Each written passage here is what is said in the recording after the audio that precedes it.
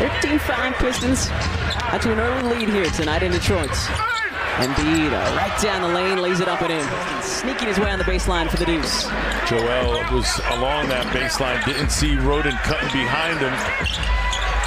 Joel, a head fake. And then the jumper from buckets. They've been kind of eliminated for your 76ers. Fast break points, only three. Maxey. Tough step back three. Count it for Tyrese Maxey. Maxey from a couple feet beyond the arc. And that distance does not faze him. Tyrese with a triple. Left a little too far for Stewart. Nobody in the building believed Maxey was strong enough to hold off Isaiah. Melton, no. Embiid grabs loose ball, lays it up and in. That elusive momentum that the Sixers have been seeking all half or all night.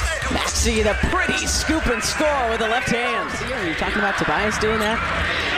The guy they call Beef Stew here in Detroit, doing it as well.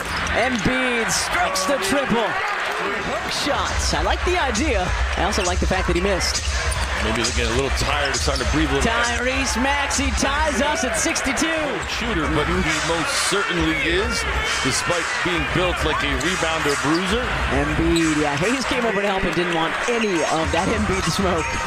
We'll stick with that. Definitely Stewart. Tyrese changes directions, hangs, hits, and draws the foul.